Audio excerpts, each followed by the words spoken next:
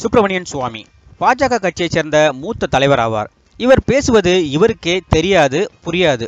அந்த அளவுக்கு தான் என்ன பேசுகிறோம் என்று தெரியாமல் தொண தொணவென்று எதையாவது பேசிக்கொண்டே இருப்பார் சில வருடங்களுக்கு முன்பு கூட மணமகனிடம் மணமகனிடம் தாலியை எடுத்துக் கொடுக்க சொன்னதற்கு மணமகளின் கழுத்திலேயே தாலியை கட்டச் சென்ற பரபரப்பை ஏற்படுத்தியவர். சமீபத்தில் கூட ரஜினிக்கு மூளை இல்லை முதுகெலும்பு இல்லை என்று கூறி அவரிடம் வம்பிழுத்தார். இவர் மட்டுமில்லாமல் பாஜக கட்சியைச் சேர்ந்த அனைவருமே ஏதாவது ஒரு ஏழரையை கூட்டிக் கொண்டுதான் இருக்கிறார்கள். இது மட்டுமல்லாமல் கடந்த ஆர்கே நகர் இடைத்தேர்தலில் கூட தினகரனுக்கு வாக்களிங்கள் என்று சொன்னவரும் இந்த சுப்பிரமணிய சுவாமி தான் மேலும் பாஜக கட்சியினரின் இந்த செயலால் நடிகர் ரஜினிகாந்த் வருத்தமுற்று வருகிற நாடாளுமன்ற தேர்தலில் பாஜகவிற்கு தனது ஆதரவை தெரிவிக்கவில்லை.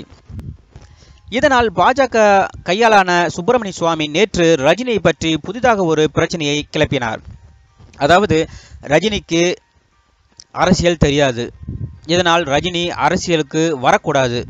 ஒருவேளை ரஜினி அரசியலுக்கு வந்தால் அவர் நிச்சயம் ஜெயிலுக்கு போவார் என்று சம்பந்தம் சம்பந்தம் இல்லாமல் பேசியுள்ளார் சுப்பிரமணிய சுவாமி. இது மட்டுமல்லாமல் பாஜக தலைவர்களையே அவதூறாக பேசி நம்மையே ஆச்சரியப்படுத்தியுள்ளார். நேற்று அவர் மோடி மற்றும் அருண்ஜேட்லி ஆகிய இருவருக்கும் பொருளாதாரம் குறித்து ஒன்றுமே தெரியாது.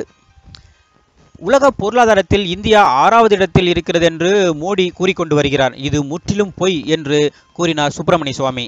இவர் ஏன் இவ்வாறு பேசி வருகிறார் என்று தெரியவில்லை. இவருக்கு மருத்துவ ரீதியிலான கவுன்சிலிங் கொடுத்தால்தான் இவர் பூரண குணம் அடைவார் என்று தெரிகிறது.